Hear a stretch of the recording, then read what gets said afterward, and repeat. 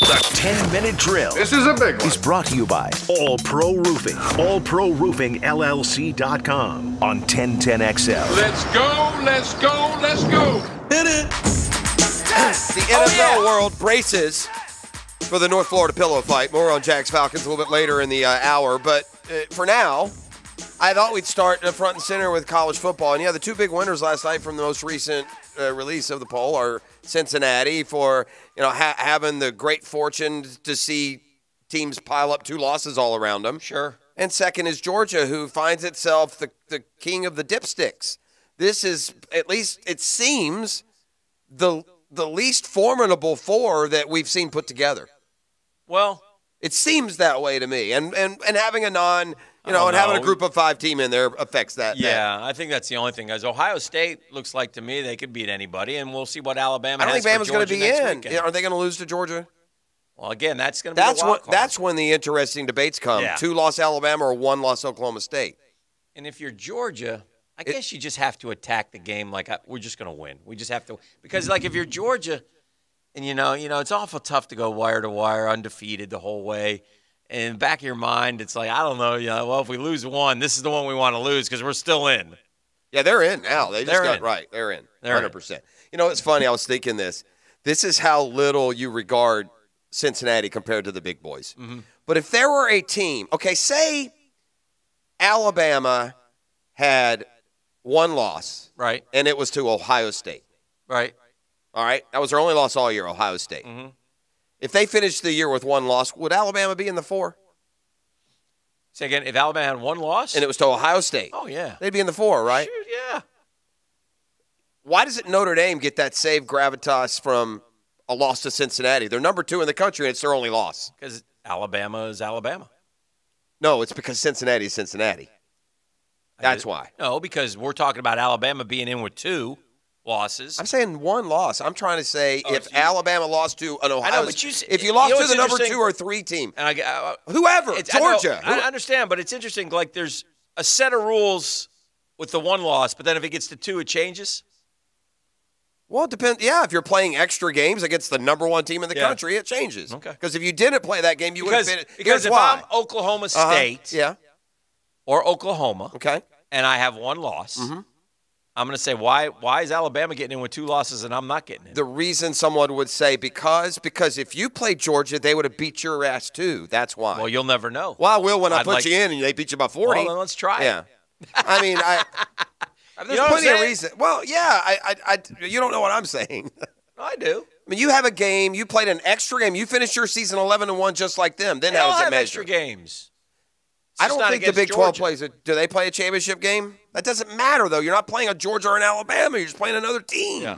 A Baylor or someone. At the end of the No, day, in, in the end, in hindsight, you know, I mean, it's just look. I don't know why this is so hard to make this supposition in college football that we do in the NFL. We don't believe every team in the NFL that has more or less losses is better than other teams. yeah, but we also know how you also know your road to the Super Bowl Right. in the NFL. Well, get, for, take that part out. I'm just saying, why do you think that Tampa Bay is better than? I'm trying to, th- you know, top of my head. Um, I'm trying to think of a team that has the same There's just a lot of one-loss teams that know. you know deserve. Uh, oh, you know, I don't see. See, to me, deserve is where we get off base. Yeah. There ain't no deserving. Yeah, I think there is deserving. I, I don't I think think, if you're is. a one-loss, you go through a season, if you're a one loss team, yeah, and they're a two-loss team, I think the one-loss team should get in ahead of the two-loss team. well, I I, it's just I that would simple. try and trying to determine who the better team is. Yeah. that's all. And I don't think in this case your number of losses has anything to do with Like who the Notre best team is. not getting in ahead of Alabama with two losses. Well, that's my point. My Correct. point is they're not getting any credit for their only Right. loss being to number Right. two, whereas Maybe they Bama would should. get. A, I think Notre Dame might get in ahead of two loss Alabama. I wonder. You want to bet? No, I don't want to bet anything. Alabama. At this point, digress. I was trying to say that No, Notre Dame doesn't get any credit for the only loss being to the number two team. Alabama. Alabama. Instead, they're discredited for it being Cincinnati. the only thing that could get Alabama is if Georgia pummels them. Then They it's might. different. And I don't think Georgia's going to pummel them. but this isn't this isn't a normal year. There's a lot of there's a lot of other teams And I also that will have guarantee you this, by the way. Because these all these one loss teams. There's going to be only one you're choosing between. Is there any because the rest way, of them are losing in the second. Is there any game? way the committee, after Georgia and Bama play, and let's say it does work out and Georgia beats Bama by seven, Is there any way Georgia and Bama will meet in the first round? Well, see, they should be one versus four. but they won't. Yeah, see, leave Bama at three. That- no, that might hurt Bama. They might leave them out. You just had this opportunity and you blew it. We were going to put you fourth, Right. but you just lost. So we think maybe it should be Notre Dame, Oklahoma, whoever. Yeah. The I only just don't see how can a committee tell you all year long they think Oklahoma's number 10 and Alabama's number 2 and because Alabama loses a conference championship game to the number 1 team in the country, suddenly Oklahoma's better. Mm-hmm. Yeah. That's a fair argument to make too. really the only ones with any shot. And obviously Michigan. Like the top 8. We got to keep saying. Well, no. I think so. Oh, Baylor's nine and two. They ain't getting in. I promise you that. They're not 9. Oklahoma's tenth. Yeah, well Oklahoma has a has a path. Yes. Yeah. So Ahead of Baylor. Baylor. Baylor Well- beat Oklahoma. They're 9 and 2. If Oklahoma beats them in the title game, they'll be 3 losses. So, yeah. What if Texas A&M only? It is amazing. What if Texas A&M only You know- had two losses? You know what's crazy about this? This is it's. I guess it's just the years of the By the way, Jeff, I don't see Texas Florida A&M anymore. already has three anyway, so they can't have two. Yeah. Um, it's amazing. This is the only sport we do this in. It's the only one. we Oh, don't yeah. do it in any other sport. Oh, We don't do it in college basketball. We don't do it in any professional sports. Mm-hmm. It's the only one where we break down who and why and when. And I guess it's because the limited uh, field. By the way, if FSU is going to go bowling, and most of us think they will, because most of us would pick FSU over Florida right now, I think they're going to have to beat Anthony Richardson. All the all the talk is I that think- Emory I don't- turned I an don't- ankle uh, down there this week I- or I- has some sort of foot injury. And I know this: Anthony Richardson's going to play. He might be playing a lot more than you. Well, here expect. here's the here is a reality for me. Mm-hmm. As this, we've gotten through the tidal wave and the firing, and now moving on and uh, resetting. Okay. Mm-hmm. I, I don't feel any. I don't feel the chances for Florida winning this week are any less than if they not fired Mullen. Oh, you don't? I don't. Yeah, I do. I, that doesn't mean I think they were going to beat him if Mullen came. I didn't think they were based on what they've done the last two weeks. Here's why I would tell you they do because Mullen's good at one thing, really good. Even though I don't think he's been that good lately, but his his best attribute is calling plays. yeah. They, he's not there to call plays. Right. I have no faith. Maybe a, a more juvenile play caller will just let Anthony Richardson be Anthony Richardson, and for one afternoon, 28 carries. yeah, Yeah. maybe for one afternoon, Yeah. that's a better. That's Yeah. better. Yeah. I, I, I do want. Uh, we should pump the brakes on giving it. I mean, they are five and six. They did lose to Jacksonville State, Oh yeah. so you know it's more of an indictment on how. And, and Florida's been playing so bad, Dan. I don't see a negative change in the like as far as their chances Mm-hmm. this week. I mean, it might open them up and. We'll see how, what kind of pride the players have. You know, we've talked about Mullen and whether he's mailed it in. The players have not played with much pride either. And then when the No. defense does, the offense doesn't perform. When the and then when the defense doesn't, they lose by forty. Beef, I have uh, just for you a stat of the day. Yeah, it just kind of um, brings clarity to His the most name is important. Hick and he's Jacksonville's favorite sportscaster. I know it doesn't rhyme. It's San Hicken stat of the day. Happy Thanksgiving, balls. Thankful for the are. time we had with balls. I miss him. Um, anyway, uh, this gives a little bit of I don't know clarity to the quarterback position, or not clarity, but a little um, uh, helps you kind of sort of process what's going on. Like Trevor Lawrence, what's he got? Eight touchdown passes, Eight and nine, yeah. nine, Eight touchdowns, nine picks. and he's lost like three fumbles, right? And he's been on eight and nine for like three months. Right. So I told you on Monday night I watched Daniel Jones, and Daniel Jones had a terrible game, and I thought he'd been getting better. And he does. By the way, Daniel Jones is a really good runner. You've seen him break some. Yeah, run, well, right? shoot, he had like a wrong touchdown Yeah. run in his career. Yeah, they're smart to use him as a runner. But anyway, career Daniel Jones has thrown 49 touchdowns. Now we're in year three, I believe, of the Daniel Jones experiment. Is that correct? Uh, yeah. Year three. Wow, what a difference that was. I know. Excellent. I, I have figured that that's where the Oh. problems emanate and can be fixed. yeah. We're going through some technical. so nothing technical. It just made him much Yeah. sound uh, well, better. that's the technical. Yeah, we went from sounding terrible to technically sounding well much better. for us. Yeah, yeah. You at home, Well. I, I, I did the time tested man's way of fixing thing. I jiggled the wires, reboot. right? Yeah. Reboot, right? Uh, So Daniel Jones uh, uh, started 12 games, then started 14 games. He started all 10 games this year. He's 11 and 25. Uh, he's gone from 62%, 62.5%, 64.5%. He's going to throw for more yards than he ever has. But this year, again, Pros, he's got nine touchdowns and seven picks. He's got a lots lots of help on the outside, and it should be better than nine and seven, I guess. eh, But but the key stat for Danny Jones, Danny Dimes, is in his career he's got 49 touchdowns, 49 turnovers. So he's Blake Bortles. That's no good, man. He's Blake Bortles. What's his, is his completion percentage a lot better? He's Yeah, prettier. he'd be a better. pretty. He'd be a pretty. Uh, Blake, well, Blake was like you know sixty. What is Daniel Is- Jones? is- uh, he's 62.8 career. it's probably not as far apart as you think. Yeah. I mean, Blake wasn't classically beautiful, but he had kind of a No, I'm just saying. Daniel Jones looks the part. He's got the form, right? He's got the the arm. But at the end of the day, I bet his stats look pretty similar to Blake's. What is Daniel Jones' career passer rating? Blake's 59%, by the way. Okay, So that's Uh, three percent. career so pass- three out of every hundred, he's going to get him. career passer rating for Blake is 80.6. Oof. Now that's ch- it's hard. Yeah, the game has changed. That yeah, he'd probably be more like 90 now. They designed the offenses different. They're more better. efficient. 84. Yeah, they're the same guy, So and no wins either. I'm suggesting to you that a Giants house cleaning might be in a might be coming again. well, they fired the offensive coordinator Fired yesterday, Jason Garrett. so they're on their way. I think they'll. I think Gettleman will be gone. You know, and and he's tied to Daniel Jones, who doesn't look like through. You know, we'll let them run through the end of this year, but doesn't look like the answer to me. So I don't know. Just thoughts as we go forward and get ready for a little smorgasbord of NFL games.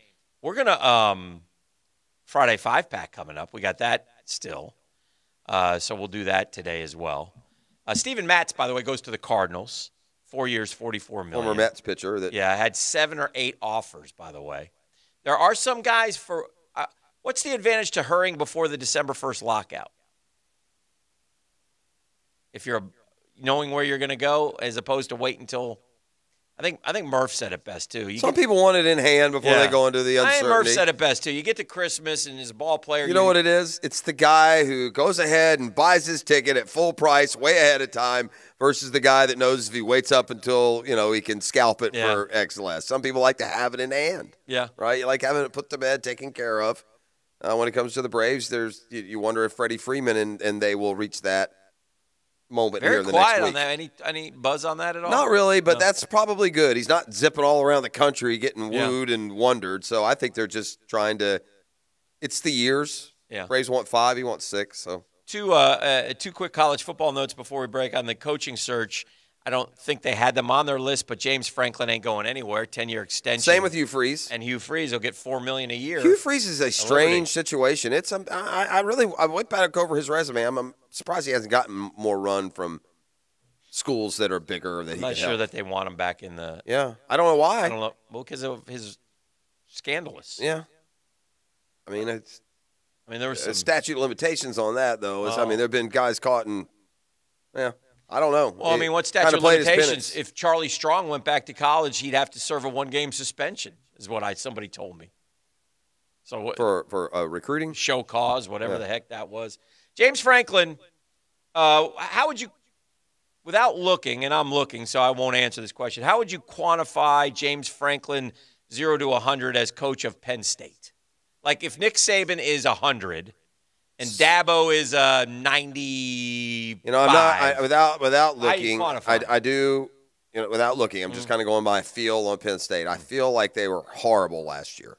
okay. Like, like, and I know it's a shortened season, Yeah. but like two and six or something. Okay.